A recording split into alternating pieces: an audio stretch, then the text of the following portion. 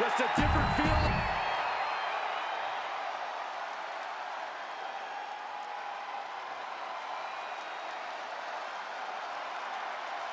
Here comes Cesaro.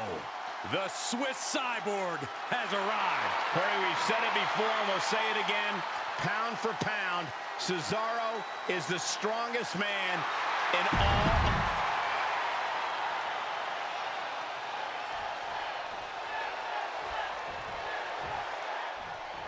Cesaro out here, and we are looking at someone who's obviously out for recognition. Cesaro never makes any bones about feeling underutilized in WWE. That's been said countless times. The untapped potential of Cesaro. You know, the Swiss Cyborg himself is tired of being underrated and underappreciated. People need to open their eyes to this man's abilities. I do agree with you, Corey, but winning is the only thing that's going to get Cesaro over the hump, and this matchup is pivotal to that. And with Ricochet, you're looking at an absolutely freakish athlete but I worry about his longevity. Can Ricochet maintain a high level with the wrestling style that he brings to the table? I see no cause for concern at all, Corey. What would be risky for others is second nature to Ricochet. His style should get him very far tonight and in the future. Corey, how do you even the playing field when you go against an athlete with Ricochet's abilities? The smart strategy is to keep Ricochet on the ground, prevent him from picking up speed, which essentially will make the one and only just a regular guy. Great dropped kick.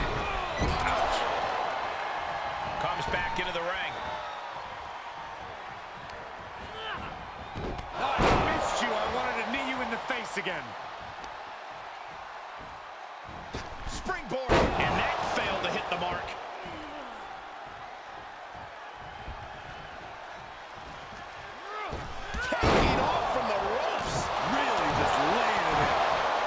Cesaro was waiting for that.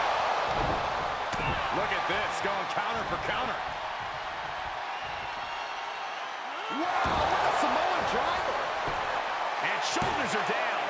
There's two. And now about do it, folks.